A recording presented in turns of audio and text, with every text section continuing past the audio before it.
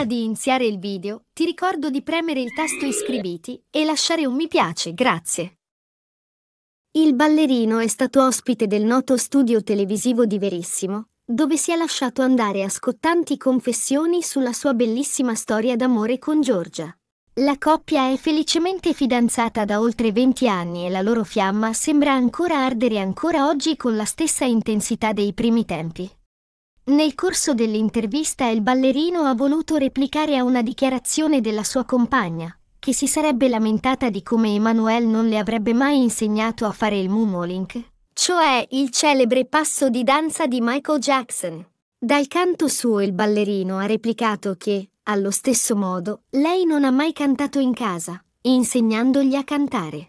Tuttavia, è pur vero che non è mancata tra di loro la condivisione, però, in compenso abbiamo fatto tanti lavori insieme. La coppia ha realizzato insieme il videoclip del singolo Scelgo ancora te, un brano che tratta proprio della loro storia d'amore, tanto che nelle scene finali si vede il figlio Samuel.